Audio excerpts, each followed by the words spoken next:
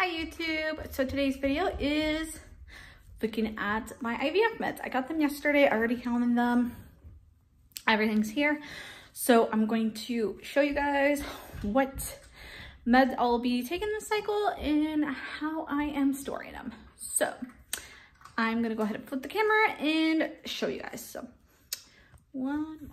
All right, guys. So one of the medications that I will be taking this cycle is Cetrotide. Um, this is to stop me from ovulating prematurely. Um, so yeah, so this, well, I won't be taking this until like starting like day five of stims, I believe. But this is the only medicine that I need to be stored in the fridge.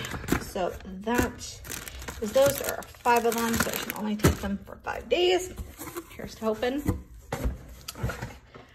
All right, so I'm gonna store the rest of my meds in this basket here on my counter, just for ease of access. So the main medicines that I'm be taking this cycle is Gonal F. Um, so I have three of these multi-dose vials. Um, I will be get taking 150 units in the morning and at night. So hopefully that will be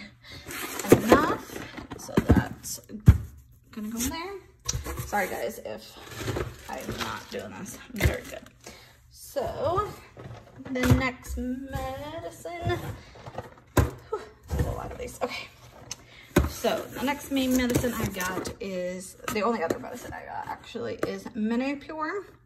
And I'll be taking one vial in the morning and at night as well with the Gonal. So yeah, I got like four packages of these that's, yeah, that's a lot. And then um, I got 22 vials, so those little ones,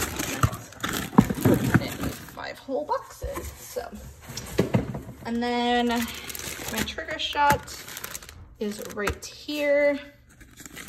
And I won't be needing that until, obviously, until I trigger. So I will still put that in there. Um, paperwork. The only thing else I got is needles and syringes for the Menopur. And then some, then my sharps container and some gauze and alcohol swabs. So that is my meds. And now if all goes according to plan, I will start my med, my stim meds on the 3rd of May. Wish me luck, guys, and I'll catch you in my next video.